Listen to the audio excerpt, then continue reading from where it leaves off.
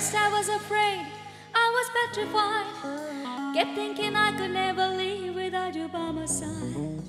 But then I spent so many nights thinking how you did me wrong.